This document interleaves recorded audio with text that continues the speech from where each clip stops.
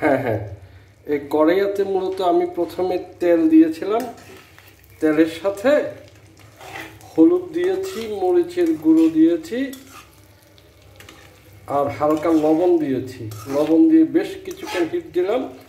Hit দেওয়ার পরে আলুগুলো এর মধ্যে দিয়েছি, দিয়ে নেড়ে চেড়ে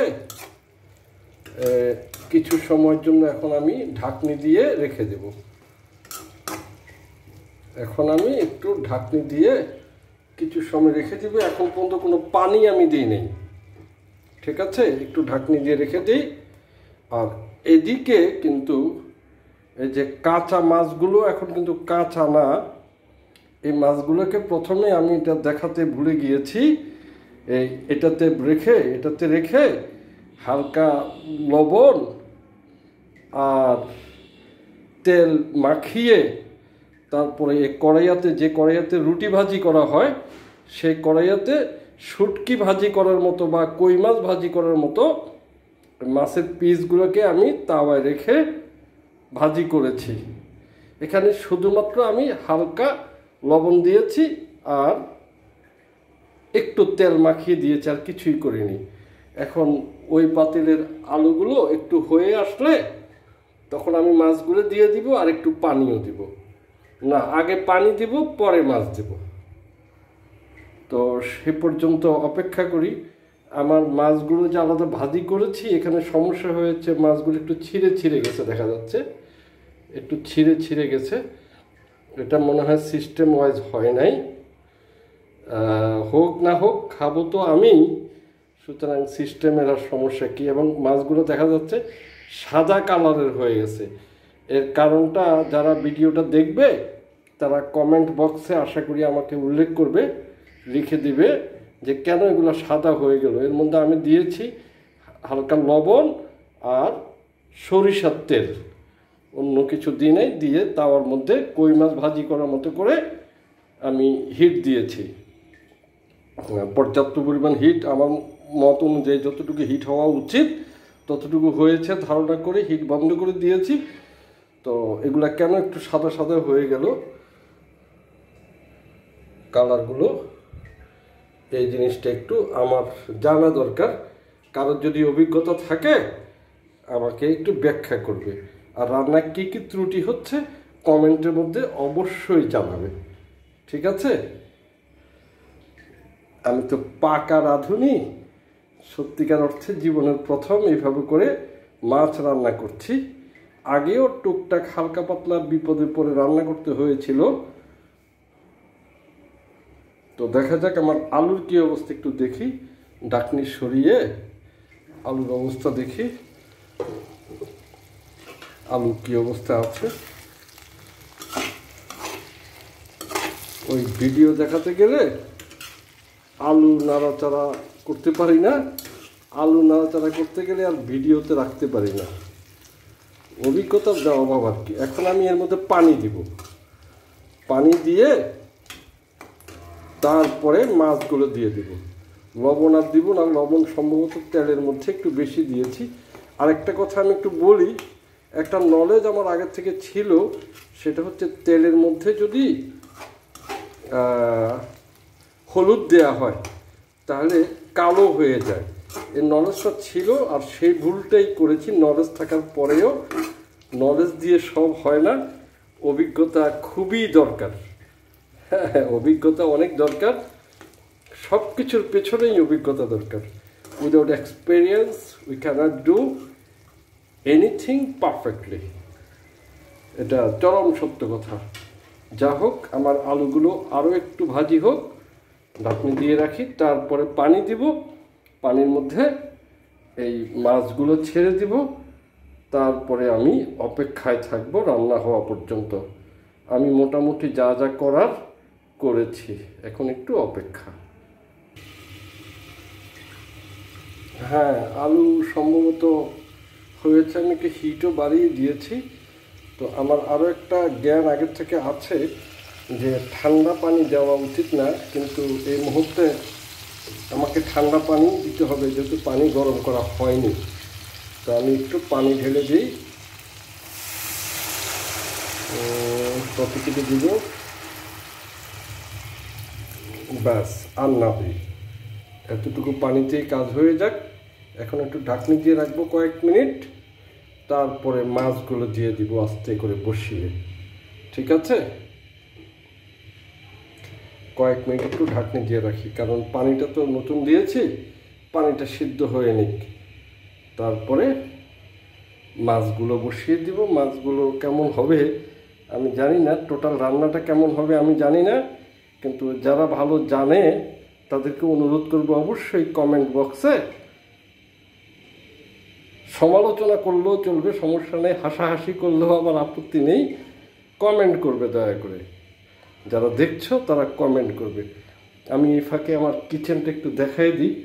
অগোছালো একটা কিচেন এখানে এটা গ্যাসের চুলা, যেহেতু মাঝে মধ্যে আমার লাইনের গ্যাস থাকে না যে হলুদ, মরিচের বাটি, লবণ ইত্যাদি ইত্যাদি, এটা পেঁয়াজের ড্রাম হ্যাঁ যা আছে আর কি। নিচে একটা বটি আছে, বটিটা একটু ফ্ল্যাশ করে দেখাই। এই যে একটা বটি আছে এই বটি দিয়ে আসল কাজ হয় আর কি। তো ইত্যাদি ইত্যাদি। দেখা যাক। আমার পানিটা সিদ্ধ হওয়া পর্যন্ত মাছগুলো দেব না। এ ফাঁকে আলু অবশ্য সিদ্ধ হয়ে যাবে, আমি জানি, কিন্তু মাছও তো অলরেডি আমার সিদ্ধ হয়ে আছে। তো ঠিক আছে, এখন একটু ওয়েট করি। মানে আমি একটু পজ করে দিচ্ছি আর কি। হ্যাঁ। পাতিল থেকে কি একটু আওয়াজ শোনা যাচ্ছে? রান্নার গট গট আওয়াজ। আশা করি সবাই শুনতে পাচ্ছে। এই যে, এই আওয়াজটা যেহেতু হয়েছে, বুঝতে পারলাম যে আমার পানি ফুটেছে। এখন আমি পানির মধ্যে আমার মাছগুলো মানে পাতিলের মধ্যে আমার মাছগুলো ছেড়ে দেব, যে মাছগুলো রেডি করে রেখেছি। ও বাবা ডেঞ্জারাস আচ্ছা বিসমিল্লাহ রহমান রহিম। একটা মাছ দিলাম। ও, দ্বিতীয় পিস দিলাম। ও, তৃতীয় পিস দিলাম। চতুর্থ পিস মাঝখানে দিই দিলাম। পঞ্চম পিস দিলাম। এবং আরও একটা পিস আছে, সেটাও দিলাম। দিয়ে হালকা নাড়ি, বেশি নাড়লে তো মাছ ভেঙে যাবে। যতটুকু মুরব্বীদের কাছে অভিজ্ঞ লোকদের কাছে শুনেছি, বেশি নাড়লে মাছ ভেঙে যায়। তো পানিতে ডুবাই দিতে পারলে ভালো হতো। দেখি আমি যতটুকু করতে পারি। সে তো নিজে নিজে আলটিমেটলি পরবর্তীতে জায়গা করে নেবে। যখন তাকে আমি ডাকনি দিয়ে হিট দিতে থাকব, তখন সে নিজের থেকে জায়গা করে নেবে। কিন্তু আমার এই কড়াইয়াতে অনেকগুলো তলানি পড়ে আছে তলানিগুলো তো মাছই এগুলো ওখানে দিয়ে দিই হ্যাঁ? এই যে তলানিগুলো সব মাছের অংশ। এগুলো দিয়ে দিই হ্যাঁ?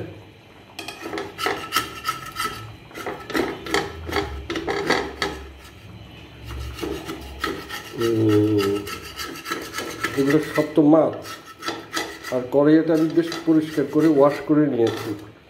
যার কারণে এখানে অন্য কিছু থাকার কোনো সম্ভাবনা নেই।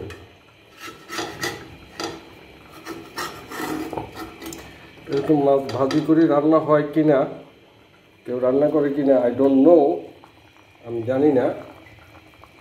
আমি করলাম। করলাম মানে এখনও করছি, শেষ মাথায় কী হবে জানি না। সবচেয়ে ডেঞ্জারাস হচ্ছে রান্নার ক্ষেত্রে লবণ দেয়া। গিভিং লবণ ইজ ডেঞ্জারাস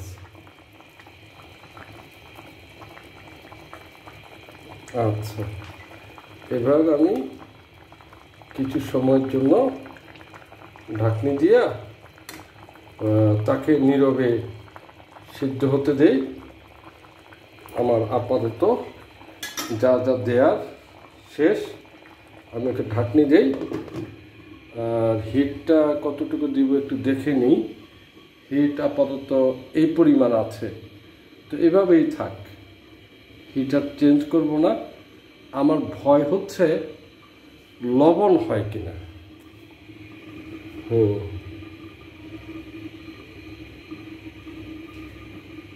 তো আমি আবার কিছুক্ষণ একটু পজ করে নিই। এটা হয়ে আসুক, ঠিক আছে? হ্যাঁ। এই যে তরকারির গুড গুড আওয়াজটা, শুনতে আমার ভালোই লাগছে। আমি রান্না করছি তরকারি গুড গুড আওয়াজ করছে। আওয়াজটা একটু শোনাই।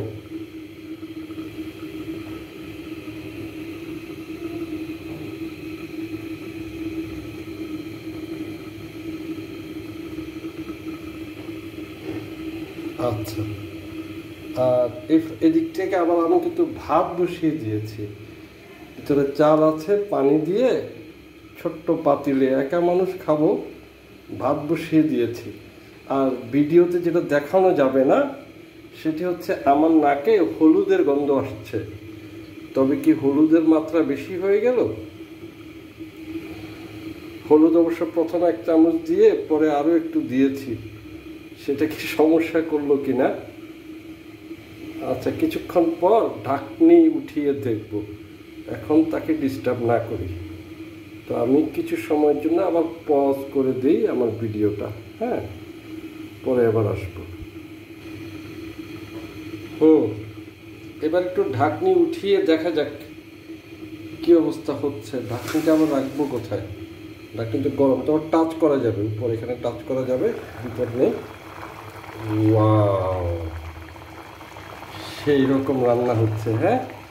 Colour is very nice I think তো একটু সামান্য নেড়ে চেড়ে দিলে মনে হয় ভালো হবে হ্যাঁ? একটু মনে হয় নেড়ে দিলে ভালো হবে।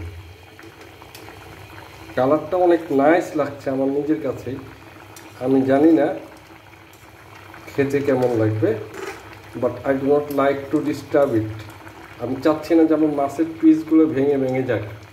তাহলে রাঁধুনি হিসাবে পুরোটাই ব্যর্থ হবে। But I have to check salt লবণের ব্যাপারটা ভয়ঙ্কর। একটু হালকা একটা চামচ নিতে হবে তাহলে। একটা চামচ নিয়ে হালকা একটু লবণটা চেক করি। চামচ তো খুঁজে বের করতে হবে। এই চামচটা নেই। এটা হট হবে না। প্লাস্টিকের চামচ এটা।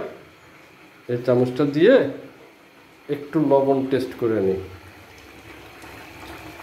গ্রামটা সত্য কথা বলব কি? গ্রামটা খুব বেশি একটা ভালো লাগছে না। যা হোক, একটু লবণ, আমার চেহারাটা দেখাচ্ছি না, ঠিক আছে? একটু লবণটা টেস্ট করে নিই।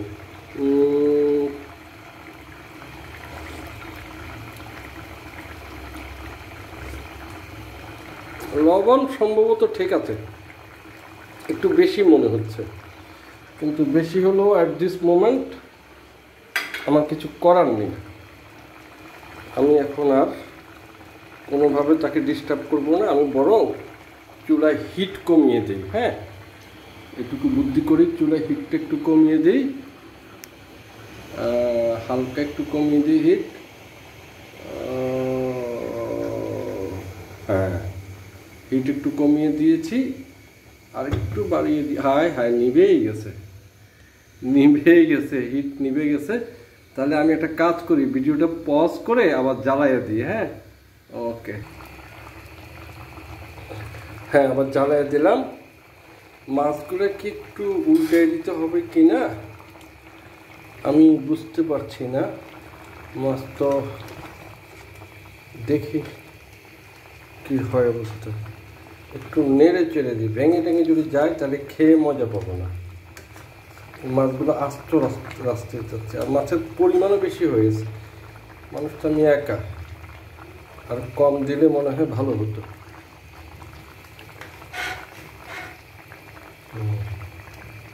মাছের নিচে আলু না থাকলেই ভালো।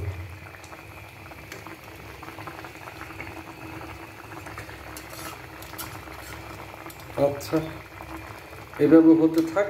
পরবর্তীতে যদি কোনো একটা বেশি বা কম হয়, তখন আর কি করব? তখন আলাদা পানি গরম করে পানিতে প্রয়োজনে একটু তেল তুল দিয়ে পানি মিশিয়ে ঝোল বাড়িয়ে নিব আর কি। এটা পরবর্তী স্টেপ বা কেউ যদি আমাকে বুদ্ধি পরামর্শ দেয়, সে বুদ্ধি পরামর্শ আচ্ছা আলুটা সিদ্ধ হয়েছে কিনা বোঝা যাবে মনে হয়। এই যে এখানে আলুটাকে একটা খোঁচা দিয়ে দেখি। হ্যাঁ আলু সিদ্ধ হয়েছে। আলু যেহেতু সিদ্ধ হয়েছে, সম্ভবত রান্নাটা হয়ে গেছে রান্না সম্ভবত ফিনিশড তো কয়েক মিনিট একটু থাকুক, তারপরে আমি আগুনটা নিভিয়ে দেব। আর এদিক থেকে তো ভাত মাত্র মিট মিট করছে। অবশ্য আমার ক্ষুদাও নেই। ভালো পরিমাণ খাওয়া হয়েছে। ভাত রান্না করতে গিয়ে আমি ঢাকনি দিতে পারি না। কারণ ঢাকনি দেওয়ার একটু পরে উতরাইয়া পরে সব তসমস তসমস তস। যা হোক এই হ্যাঁ। তরকারির কালার কিন্তু বেশ এক্সেলেন্ট আমি জানি না অন্যেরা, ভালো রাঁধুনিরা কীভাবে ব্যাখ্যা করবে I don't know but the colour is nice I am liking it very much তো ঠিক আছে, একটু অপেক্ষা আর একটু পজ করে দেই। হুম, আশা করছি রান্না শেষ। একবার দেখে নিই। Wow it's nice to look at তো রান্না আপাতত শেষ। আমি বরং চুলাটা অফ করে দেই। চুলাটা অফ করে দিই। টোটাল চুলাটা অফ করে দিলাম।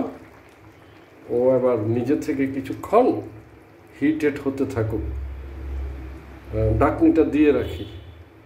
ডাকনিটা দিয়ে রাখি। আর একটু আমার তো চেহারাটা একদম বিধ্বস্ত হয়ে আছে। তাও যেহেতু এতক্ষণ কষ্ট করে রান্না করলাম, এই বিধ্বস্ত চেহারাটা নিয়ে সবার সামনে একবার আসি। এই যে this is me who cooked all this time জামাটা গায়ে ছিল না কিন্তু। এই ভিডিওতে আসব, তাই জামাটা পরলাম। কি করব এখন? রান্না তো করতেই হবে। ঈদ করার জন্য সবাই বাড়িতে গিয়েছে। তো আরও কাজ ছিল বাড়িতে। আর এদিক থেকে আমার ভাত। তো ঠিক আছে, রান্না আপাতত শেষ। আমি ইনশাল্লাহ আমি কিন্তু প্রচুর পরিমাণ কমেন্ট যাচ্ছি কমেন্ট করতে হবে, কষ্ট করে রান্না করেছি ভিডিও করেছি it should be commented very much তো সবাইকে ধন্যবাদ জানিয়ে, হুম, আল্লাহ হাফিজ।